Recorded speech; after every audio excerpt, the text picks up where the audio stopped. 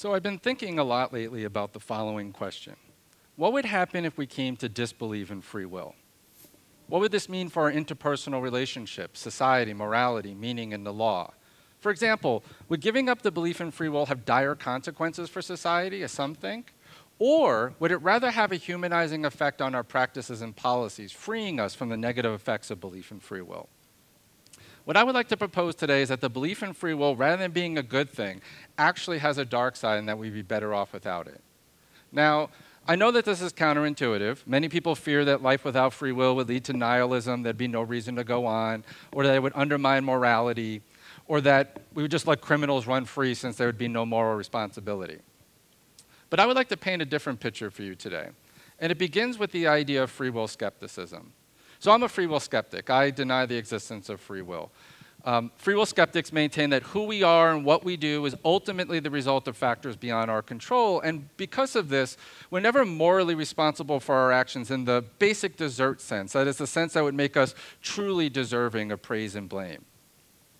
Now, historically, there have been a number of philosophical and scientific arguments for free will skepticism, and I've promoted these arguments in my own work. But I'm not here today to try to convince you that you lack free will. That's not my goal. Um, I'm actually interested in a slightly different question. What would happen if we came to accept this perspective? What would happen, practically speaking, if we came to disbelieve in free will? Would it be, on the whole, a good thing or a bad thing? And it's here that I'm an optimist. I'm optimistic about the prospects of life without free will. So I call myself an optimistic skeptic. Um, as an optimistic skeptic, I maintain that life without free will is not only possible, but that it's preferable. Prospects of finding meaning in life and of sustaining good interpersonal relationships, for example, would not be threatened. And although certain systems of punishment, like those based on the model of retribution or just deserts, would be ruled out, preventive detention and rehabilitation programs would still be justified. And I'll say a little bit more about these in a moment. Um, so, as an optimistic skeptic, I maintain that life without free will um, may actually be good for our well being and our relationships with others, since it could tend to eradicate an often destructive form of moral anger, a kind of moral anger that's corrosive to our relationships and to our social policies. Um, so, to better understand the dark side of free will, what I want to do is just talk about some recent empirical work in moral and political psychology.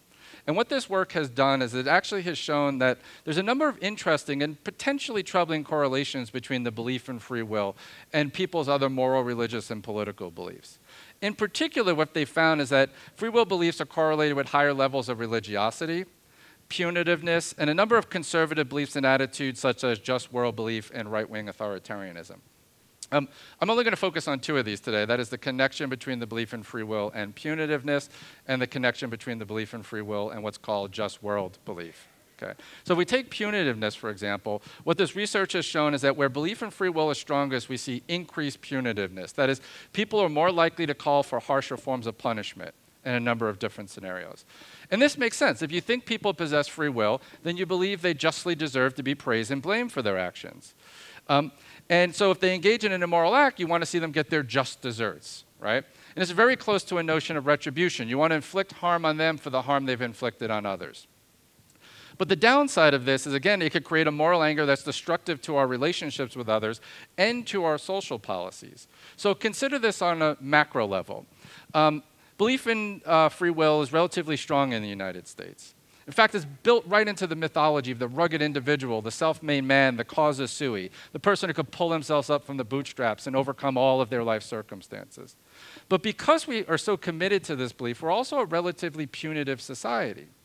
Consider this one simple fact the United States makes up about 5% of the world's population, yet it incarcerates 25% of the world's prisoners.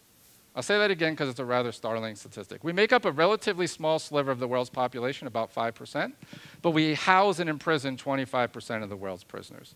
I don't think it's controversial to say that our criminal justice system is broken. It's not working. It's not making us safer. It's not reducing crime. It's by no means achieving our desired social goals, and it is not reducing the rate of recidivism, that is, repeat crime. But perhaps, just perhaps, if we would adopt a skeptical perspective, we might be able to adopt more effective and more humane policies.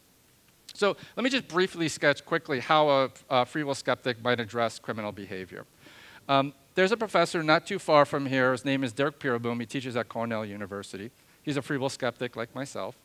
And he proposes a model for dealing with dangerous criminals based on an analogy with quarantine.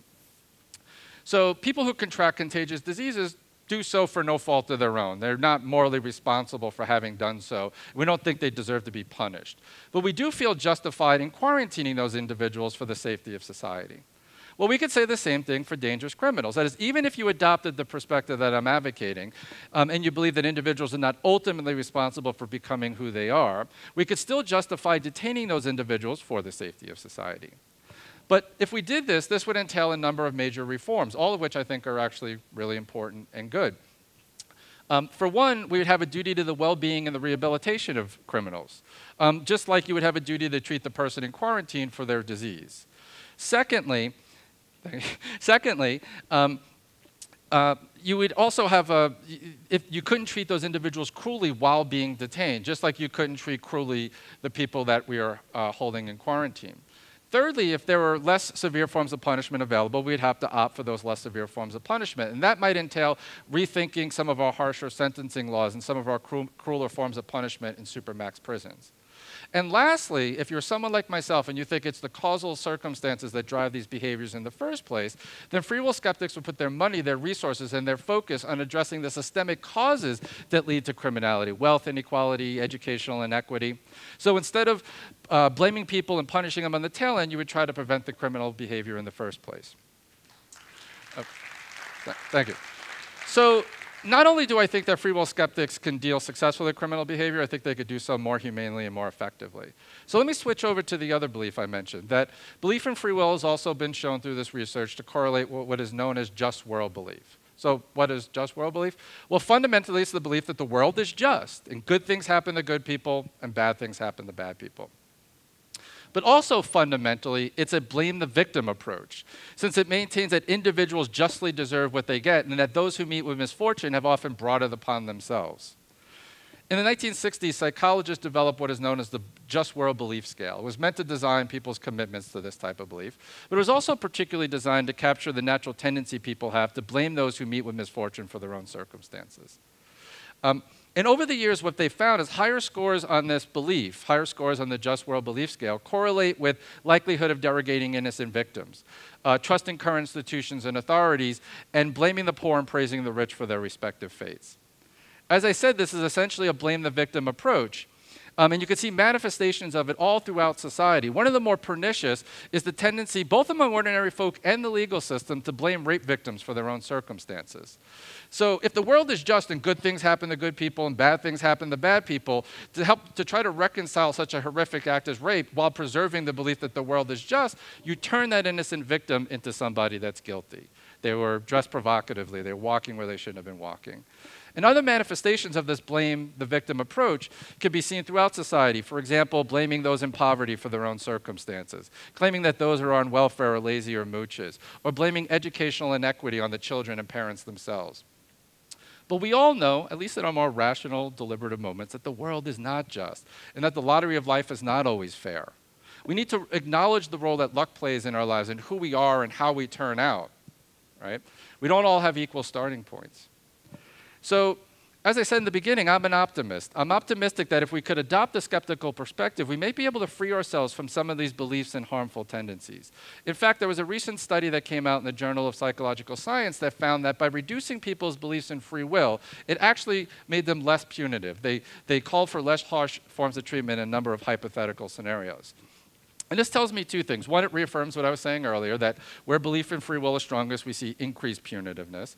But it also provides hope to me that we could perhaps relinquish ourselves of some of these more harmful beliefs, and by doing so, lose some of that moral anger I've been discussing. So my proposal, my proposal is rather simple. Let's not fear free will skepticism, let's embrace it. Let's give up the belief in free will and with it the pernicious belief in just deserts, that people justly deserve what they get.